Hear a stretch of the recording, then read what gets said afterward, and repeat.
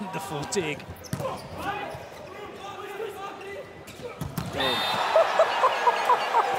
oh, my goodness me! That is the set and the hit, I would dare say, of the Volleyball Nations League. Surprised that ball didn't just explode, ex explode upon impact. But you see him working here in transition from his right side, uh, which is particularly a hard, oh man, great transition from the right,